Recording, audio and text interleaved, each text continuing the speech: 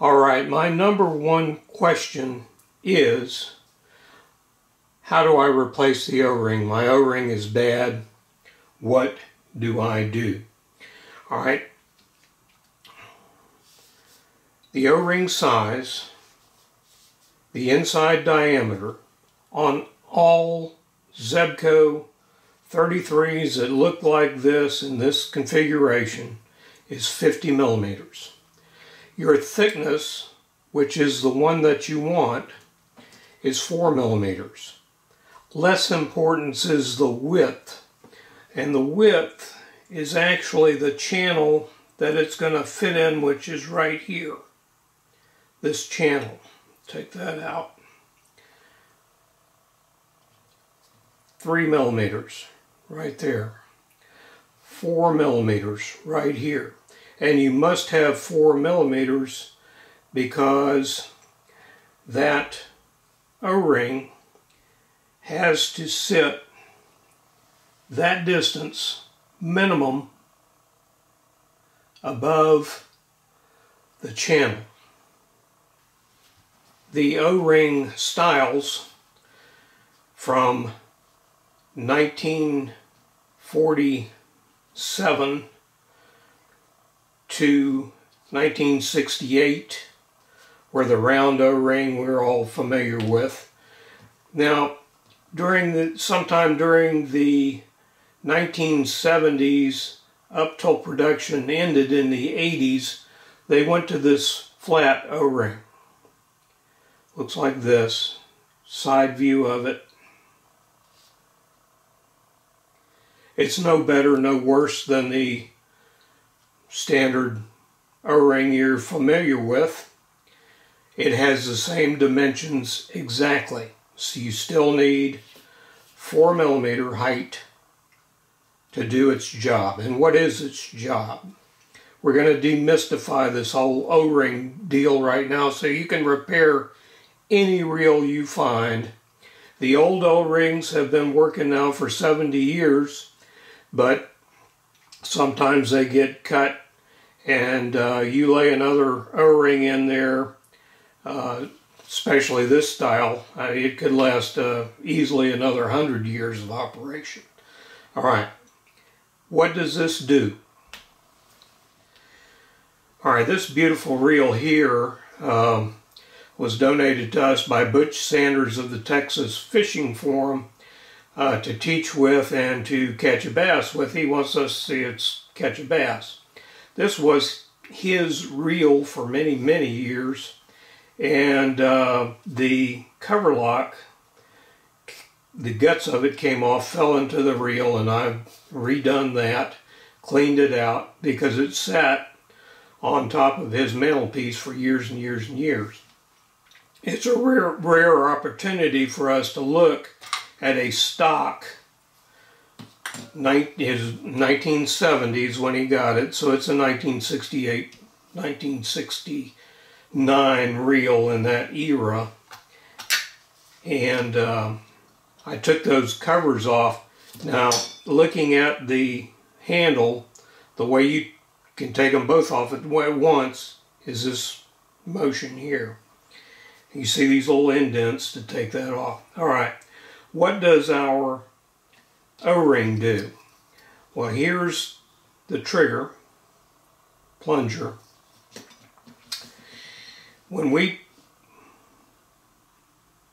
press that, these two the bars here, it's actually a single bar, but this bar takes this plate back here.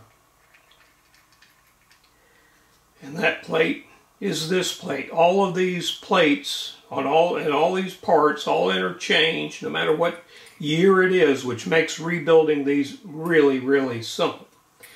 Now this plate goes forward. You've got your O-ring in here. And see the thickness, it rises just above the plate, four millimeters. When I press that plunger, it stops the line. That is its only job, is to stop the line, click the button, and cast. All right. And if we're trying to land it on an individual lily pad with these, these are very accurate. Um, we can do that. Lines going out. We click it again. If we actually don't click it, we just stop the line with our plunger here. This is actually what? You know this. This is a clutch. It's not a spinning clutch. It just stays in one place. And wherever the line is going out around this thing, when you hit the clutch, it stops it. Only job it has. That's it. And since it's not spinning, we can repair this with virtually any material that will simply stop that line. All right? So I hope that helps you, uh, you know, kind of demystifies this whole O-ring thing and so you're not that scared of it if you find a reel that doesn't have an O-ring in it or if it does and it's, there's something wrong with it, you're not afraid to repair it. All right, let's talk about some repair methods. If you don't find an O-ring, now you can get an O-ring kit. Here's how you read it. 3 millimeters inside diameter. Well, you need a 50 by 1 millimeter thick. Well, you need 4 millimeters thick. The biggest O-ring in this kit, particular kit, is 22 millimeters. So you're going to you know, bypass this. You're going to look for the next largest kit until you get to 50. All right, you got a 50 millimeter. You're good to go. You get you just right. What if it, the kit has a 55 millimeter? You know what? What do I do? All right. Well, here's what you can do. Cut the O-ring off. And I'm going to stop the camera for just a minute. We're going to continue because uh, it, it makes bits so big that I can't uh, upload it. We're right back. We're going to up. We're going to take and we're going to lay the cut O-ring in there. Now, what I like to do is get the size first, lay it in, which I've already done, as you can see. Perfect. Take a look at the, look good. Now this can be bigger than four millimeters, but it can't be any less. You can't have any part of this metal stopping your line because it cut it. Damage your line, you'll, and you'll lose the fish. Now what can we do to tidy up this cut and glue our O-ring in? Alright, there's a product called Plasti-Dip. I'm showing it to you right now. And you can take and dot that in here. It's a, it's a vulcanized rubber product. It turns to rubber when it dries. So dot that in, lay your O-ring in,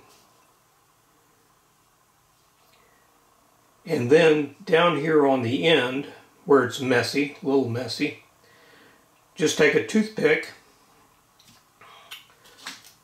or screwdriver, whatever you want, and some Plasti-Dip, tidy that up so that your line doesn't fall in that crack and give you a problem. As long as it's solid and it'll stop the line, it'll work. Now look at what this actually is. That's nothing but a ball bungee.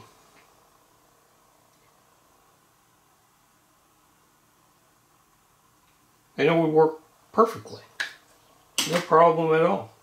That may last 300 years. I don't know. You know, the, uh, the original O-rings now are 70 years old. So, uh, and they're still working. I'm, I'm going to put this right back in a reel. Okay. All right, I'm going to show you the operation of it one more time just to make a point of it. This is a night during the 1980s they went to a plastic body, but it's the same Same setup, all the parts interchange with all the earlier models. And just to make a point of that, this, these two pieces, the spinner and this uh,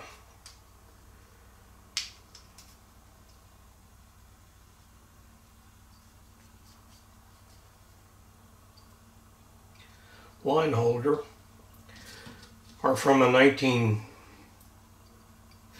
reel. And all that has to do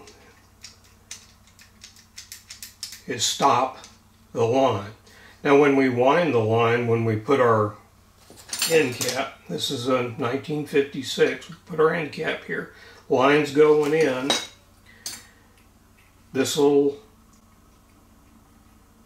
button right here winds our line back around the spool. So any part you have will fit on any of the reels. So anything you see anywhere, you, you know, that'll help you not be afraid. You pick up an old junker clunker like that in that kind of condition, you know you can bring it back. Either bring it back or use the parts from this to bring another one back. There's your, of course, your clutch. Now, let's go through the years. Uh, this is a plastic model, one of the last built in the USA before they sent everything to China and, and discontinued this in the 80s. This is what it looked like when you hear people say big rivet, small rivet, whatever rivet, small rivet. Zebco made in the USA, but they've gone to plastic. All these inserts, though, are still metal. So even though it's plastic, it'll last a heck of a long time as long as you just keep it keep it lubricated. All right during the 1970s, what did we have? We had steel gears, brass inserts, and these probably will last the longest of all because it is steel gears, possibly. Um, usually these are strong enough to stand up to some of the really dumb things people did with them which is lock down the drag. And, you know, I'm hung up on the bank with a plug and reel the boat over to the, the uh, shore. They are that strong.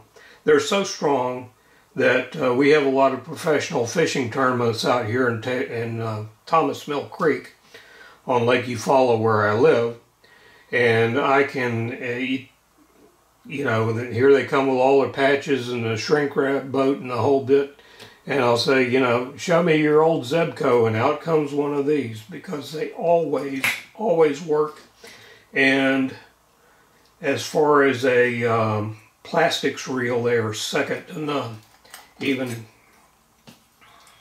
this is a 1956. This is my grandfather's reel, and big rivet medium-sized rivet